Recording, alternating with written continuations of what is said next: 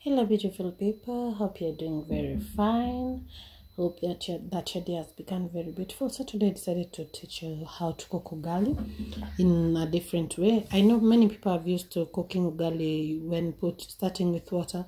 So for me, I'm going to start with flour, the posho meal flour, not that one for the fine flour for packet. No, the ones it's direct from the maize cob.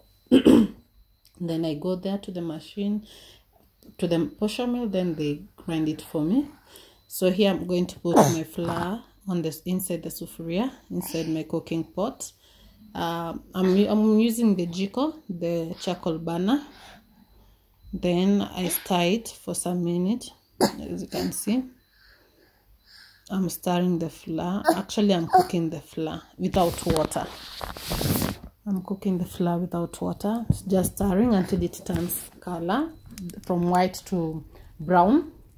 Not that brown not that dark brown but slightly brown a slight brown like almost to brown almost to light brown but it's changing color as you can see we'll continue i'll show you when we're coming up to that color. You're, you're going to stir it for like five minutes but for me i stir it for like 10 minutes to seven minutes.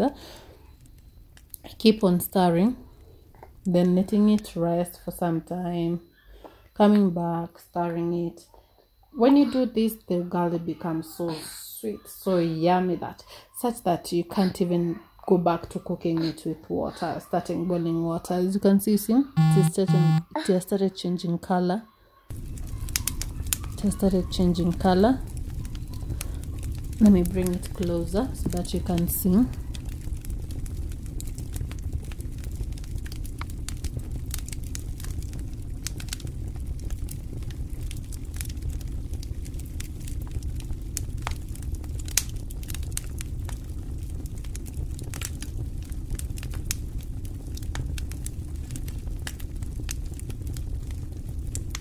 as you have seen it has changed color see? You see there at the center where i'm smashing it?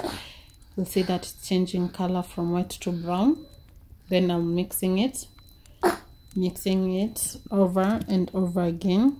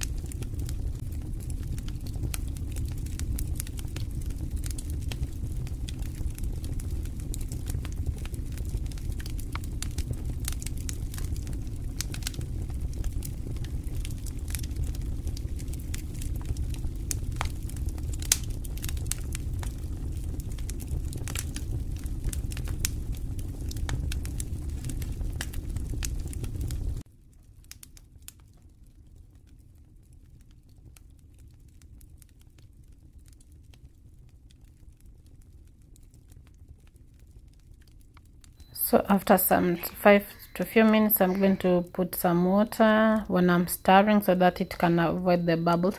The water which i'm adding is boiled hot water. So when you add water don't don't add cold water. Add boiled water very hot 100 degrees water boiled water okay? So you add while stirring to avoid the burning the burning uh, bubbles so that you cannot get burn on your face add while while stirring so that you can avoid also the the what are they called? The white bumps that forms the white balls that forms in in the ugali. So this is how i cook my ugali. I know many people cook differently but for me this is how i hold my mwiko my cooking my cooking stick. I smash little by little so that I can uh, I can avoid eating uh, some flour some raw flour so I, I beat it little by little mixing some even put blue band some put uh, cooking oil but for me this is how I cook it without adding any other thing just flour and water after I learned this new trick, I loved it because I never used to know how to cook uh, ugali, not this, the, the, eh, the ugali for posho meal. I'll call it posho meal. Uh, I won't call the packet ugali because they have different taste. The packet ugali is so easy to cook, not like the this one. This one you know you it is not re refined. The other one is refined. This one this one is not refined. So it's always hard to cook it. Then it has a lot of uh, time to cook it so that it can cook so very well and become so sweet and then when you cook you have to wait for almost even 30 minutes on it. So after i learned this new trick uh, on how to cook first the flour then you add water it becomes more sweet more more yummy. I loved it. First when you cook it when you're eating uh, your fish when you cook when you're eating your kienyeji name them. So after stirring i cover it to cook for some time then i open it i start smashing it again you see it has started stuck sticking on the so it has started um, it is almost ready I just love ugali. Ugali is so sweet. Ugali is so yummy. Ugali is satisfying. Ugali, when you eat ugali, you see it has started revering. When you see it's not sticking on your hands, it's just started to cook. So this is how I do it. You see even my mwiko is so clean and clear. Then this is after. Thank you for watching. Don't forget to subscribe. Bye bye.